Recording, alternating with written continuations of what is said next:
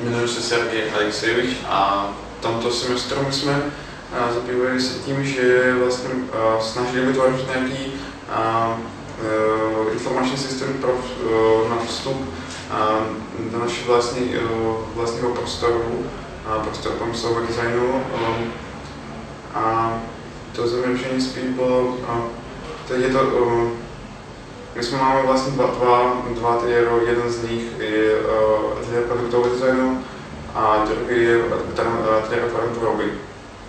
Tak uh, to je právě byla otázka toho, aby, jak bych to udělal tak, aby to uh, bylo jako společné něco pro mě a tím já, já jsem udělal pokus uh, to, že vlastně, vlastně my jsme měli, máme v našem ateliéru před, před chodem uh, malou chod, chodbu a tím jsem, uh, jsem chtěl bych jako bych zkrátit tento, toto, není, není to tento ten průchod do ateliéru uh-huh. jste chtěl jako opticky přiblížit uh-huh. vlastně ten ateliér tomu kolem jdoucímu. Protože my jsme jako jedno ve stejné chvíli, nebo ve stejné chvíli jsme dostali um, dvě otázky. Pro novou informační systém a pak šla, otázka udělat něco na odreagování, tak jako já jsem začal jako přemýšlet už nad, na, i nad uh, odreagováním, i nad uh, vstupem, abych to nějak... Uh, a tak já jsem byl docela inspirován, uh, protože předtím jsme jeli na výstavu Jamesa Tyrella do Německa a já jsem byl inspirován i uh, jeho, jeho uh, dílami jsem vlastně sám chtěl... Takže jste tam pracoval s tou perspektivou vlastně hmm. vytvoření jakoby dalšího vnitřního prostoru hmm. iluzivního k tomu, z té stávající architektuře, no. toho vstupu nebo vlastně k těm dveřím do toho průmyslového designu.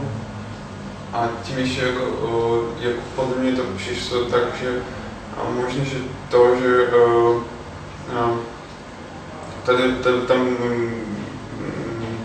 jsem tak zkoušel od začátku možná udělat takový projekt, možná, že to by šlo udělat nějakou projekci, tak by šlo udělat nějakou projekci na, na, s kamerou a udělat to in live, abych to šlo, abych každý to viděl, co, co se děje v ateliéru, přímo v ateliéru a abych to nebylo jenom tak, že, um, aby to nebylo taková tabulka, že vstup zakázán, nebo že je to úplně naše, že, že my jsme nechtěli bych vám ukázat, co jsme dělali a aby každý viděl, uh, že uh, my jsme otevřeli a my jsme jako snažili udělat něco nového, něco kreativního a my jsme pracujeme tam. Takže jste chtěl zdůraznit tu transparentnost, že hmm. vlastně to, co se děje v ateliéru, hmm. bylo vidět tady na té projekční ploše u toho vstupu do těch prostor. Ano, přesně tak. Děkuji.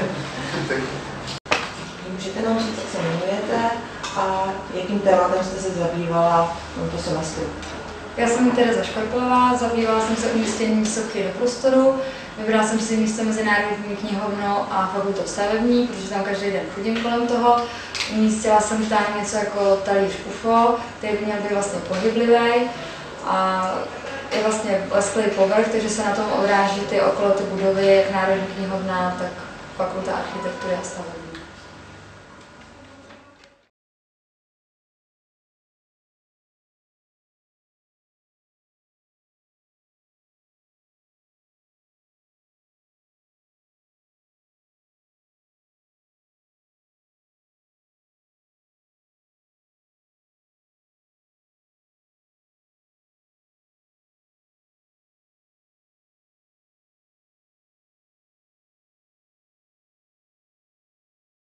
Tak já jsem Lucie Sládková a jako klauzuru jsem si vybrala uh, sochu v architektuře, kde jsem se vlastně zaměřila na opravu nějakého starého šedého sídliště a přistavila jsem vlastně k jednomu paneláku tady tady budovy fakulty architektury domeček z karet.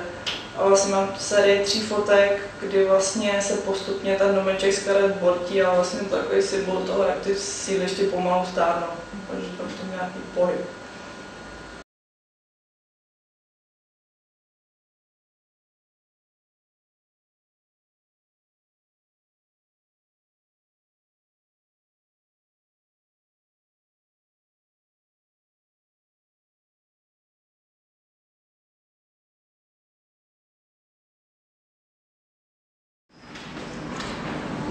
Můžete nám říct, čím jste se zabýval v tomto semestru v klauzurní práci?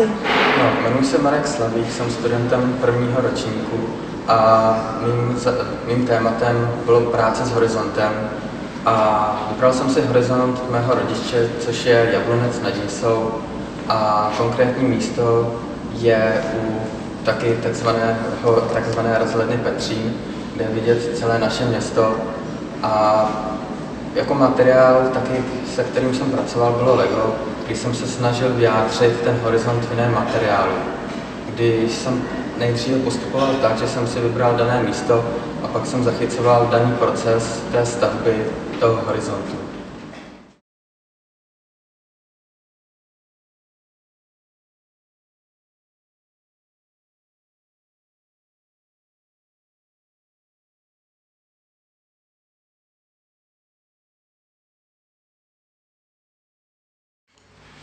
Já jsem Adela Slova a moje práce je mm, vlastně takový videí tisk, který měl být jako ostrašující příklad, kdy uh, mohly být noviny třeba v budoucnu, tady například uh, datum úterý 25.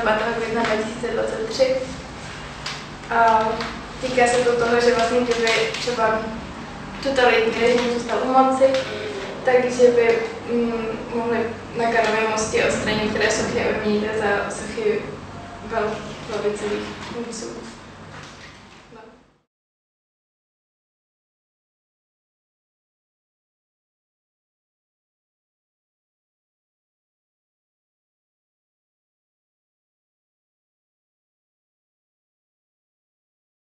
Můžete nám krátce říct, čím jste se zabýval v tomhle semestru v klauzurní práci? Tak, jmenuji se Ivan Stanev a já jsem řešil vlastně, protože se zabývám veslováním a nějakou dobu překvapilou pohybu, tak, tak jsem v podstatě řešil stopu lodí ve vodě, takže jsem vymyslel takovou, takovou dá se říct, věc, která by měla, která by měla odpovídat těm stopám, těm stopám ve vodě. A je to v podstatě plexisklo, v podstatě plexisklo, který je ponořený ve vodě a to mělo vytvořit v podstatě tu, tu loď, která tam předtím byla. Negativ. Negativ. To je celý. Tak já jsem Martin Šťastný a zabýval jsem se myšlenkou nějakého odreagování eh, v centru rušného města nebo například nákupního střediska nebo tak a nějakého eh, kontaktu jakoby s přírodou nebo mm, prostě od toho ruchu toho města. A vlastně jsem vytvořil eh, takový objekt, prostor, ve kterém člověk bude oddělený od toho města vodní hladinou, hladinou, vodní stěnou, která padá po celém tom obvodu toho objektu a bude si tam moct sednout na lavičku, odpočinout si a ta voda ho vlastně oddělí od toho hluku toho velkoměsta, například i od toho smogu nebo tak a vlastně si tam bude cítit uh, jakoby jako v přírodě, že to bude takový krátkodobý relax. A ty máš možnost projít tou vodou? Tam by někde byl jakoby průchod, no. To nemusí být, že to si můžeš Hmm. projít jako tím Hmm. počistce. Jako díky.